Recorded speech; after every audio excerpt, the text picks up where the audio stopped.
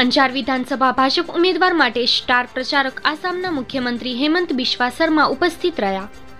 અંજાર વિધાનસભા ભાજપના ઉમેદવાર ત્રિકમ છંગા માટે જાહેર સભા સંબોધી આસામના મુખ્યમંત્રી હેમંત બિશ્વા શર્મા જાહેર સભા સંબોધી કહ્યું હતું કે માજી રાજ્યમંત્રી અને અંજાર વિસ્તારના માજી ધારાસભ્ય વાસણભાઈ આહિરના કાર્યકાળ દરમિયાન વડાપ્રધાન નરેન્દ્ર મોદીના નેતૃત્વમાં અનેક વિકાસ કાર્યો કર્યા છે. તો વિકાસને વધુ વેગમાન બનાવવા માટે આ વખતે અંજાર વિધાનસભા ભાજપના ઉમેદવાર ત્રિકમભાઈ છંગાને જંગી બહુમતીથી જીત અપાવવા માટે જાહેર સભા સંબોધી હતી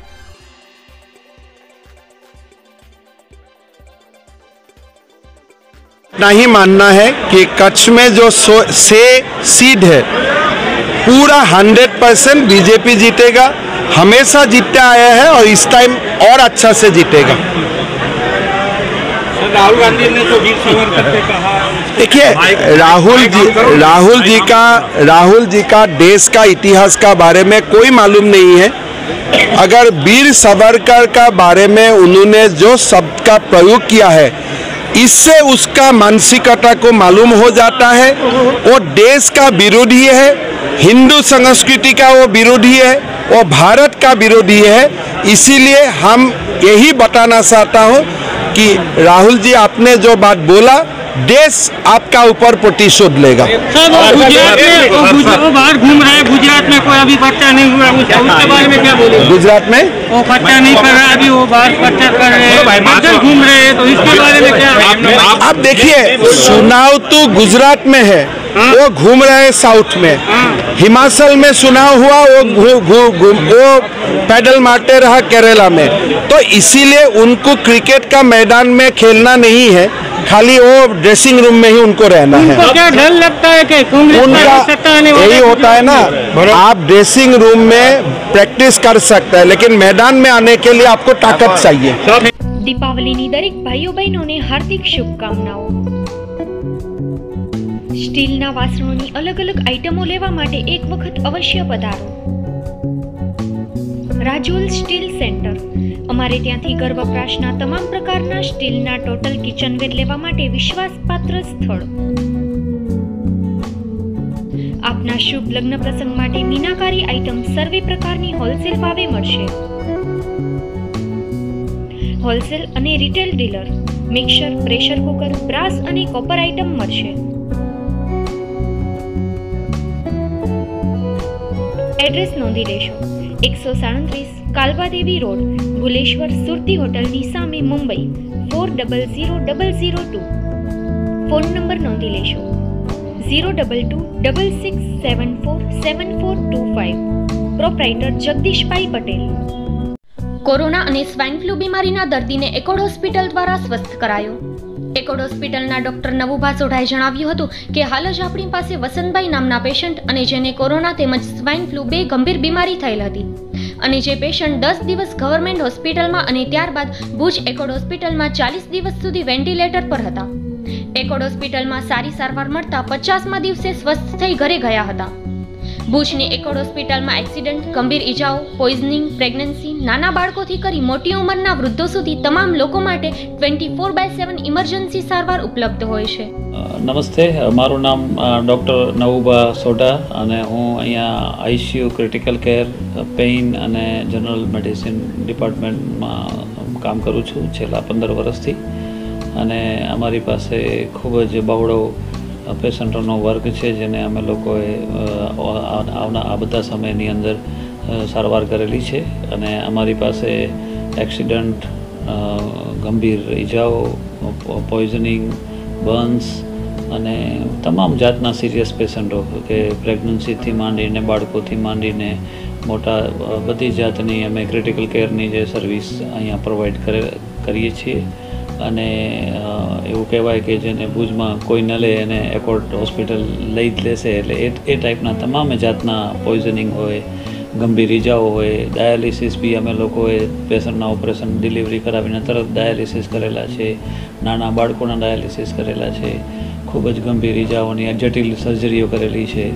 અને બધી જ અલગ અલગ જાતની જે પ્રોસિજરો છે, જેમાં કે કેન્સરની કિમોથેરાપીના પોર્ટ મૂકવાના હોય પરમેનન્ટ ડાયાલિસિસ લાઈનો મૂકવાની હોય, કે જે પ્રોસિજરો માટે દર્દીઓને અહીંથી અમદાવાદ જવું પડતું હતું. આ તમામ જાતની ઘણી બધી સર્વિસો આમાં જે શ્રી સરકારની જે યોજનાઓમાં આવે છે સે- મફતનો લાભ પણ મળેલો છે. જે જે જે જે આમાં પેકેજમાં ઇન્ક્લુડેડ હતી એ બધી સર્વિસોને અને હમણાં જ આપણી પાસે લેટેસ્ટ વસંતભાઈ નામના એક પેશન્ટને જેને કોરોના અને સ્વાઇન ફ્લૂ બે ગંભીર બીમારીઓ થયેલી હતી અને ચાલીસ દિવસ સુધી વેન્ટિલેટર અને દસ દિવસ ગવર્મેન્ટ હોસ્પિટલમાં એટલે ટોટલ પચાસ દિવસનું વેન્ટિલેટરના સપોર્ટ પછી પણ અને ફેફસું લીક થઈ ગયું હતું. હવા લીક થઈ ગઈ હતી. છતાંય દર્દી આમાં સરસ રીતે પાર પડી અને ઘરે ગયા છે. અને ભૂતકાળમાં બી આપણી પાસે ત્રણ મહિના, ચાર ચાર મહિના સુધી દર્દી વેન્ટિલેટરમાંથી બહાર આવી અને ઘરે ગયેલા છે.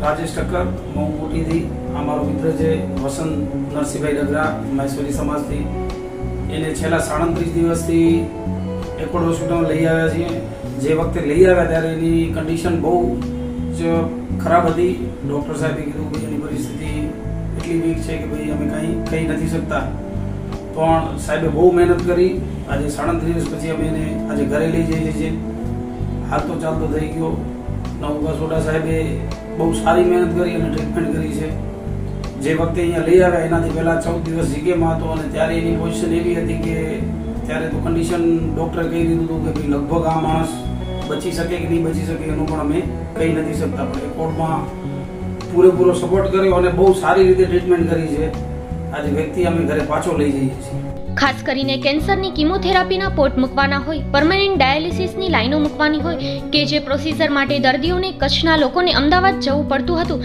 આ તમામ સારવાર એકોડ હોસ્પિટલમાં સરકારશ્રીની યોજનામાં આવતા પેકેજ પ્રમાણે દર્દીઓને લાભ મળે છે.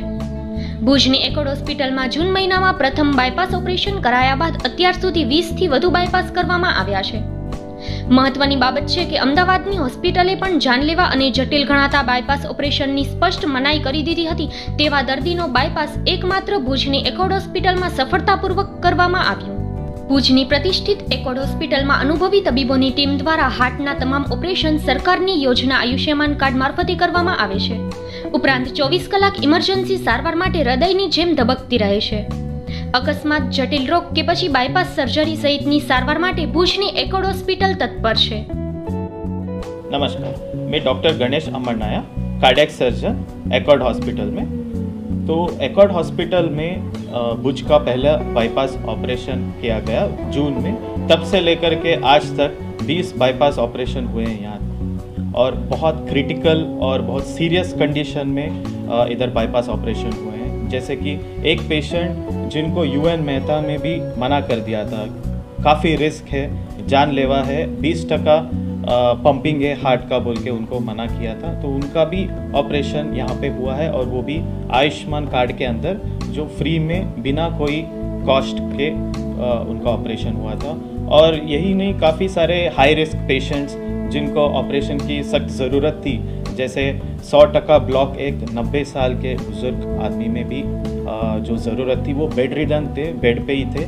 तो अभी उनका भी बाईपास ऑपरेशन जुलाई में किया था और अभी दो दिन पहले उनसे बात हुई। तो अच्छा चल फिर रहे हैं। पहले उनको दो दो लकड़ी का सहारा लेना पड़ रहा था तो अभी वो आराम से चल रहे हैं। और पिछले चार महीने में जो हमने 20 बाईपास ऑपरेशन किए हैं। ये सारे के सारे आयुष्मान कार्ड के अंदर ही हुआ है और पेशेंट को इसका कुछ भी कॉस्ट नहीं उठाना पड़ रहा है। तो इससे जो है यहाँ के पब्लिक को काफ़ी फ़ायदा हो रहा है ये आयुष्मान योजना की वजह से। तो लोगों को ये हॉस्पिटल के अंदर जो है इमरजेंसी केयर एंड सारे जो केयर है एक ही छत के अंदर, एक ही छत के नीचे जो मिलता है तो वही एक स्पेशलिटी है।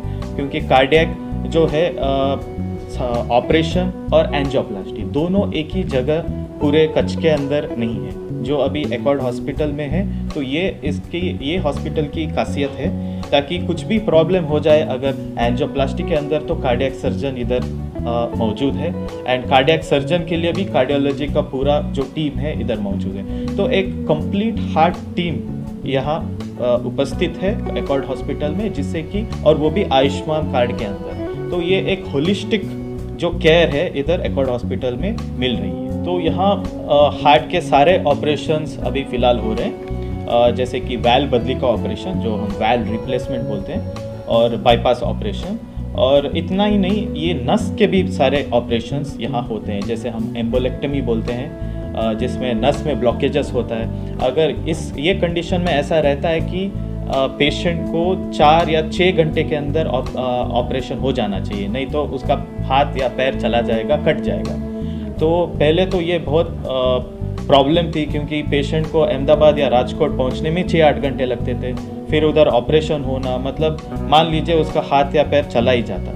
लेकिन अभी ऐसा नौबत नहीं है। या ऐसे नस के भी ब्लॉकेजेस के जो ऑपरेशन है इधर ही एकॉर्ड हॉस्पिटल के अंदर ही हो जाते हैं जैसे हम लेग अटैक या हार्ट हैंड अटैक बोलते हैं तो उसका भी जो पूरा इलाज जो है टाइमली मैनर में इधर एकॉर्ड हॉस्पिटल में हो सकता है और वो भी योजना के अंदर ही હોસ્પિટલમાં આવ્યા ત્યારે ડૉક્ટર ગણેશ સાહેબથી મળ્યા અને તેઓ નેવું વર્ષની ઉંમરમાં ઓપરેશન કર્યું એ બહુ મુશ્કેલ ઓપરેશન હતું અને બહુ સારી રીતે કર્યું એટલે એમને પણ ખૂબ ખૂબ આભાર એક તો દવાખાનામાં એને સારવાર કરી ડૉક્ટર સાહેબ સારા હતા મને તકલીફ કાંઈ ન પડી અમર નેવું વર્ષ નામ દાદા ભટ્ટા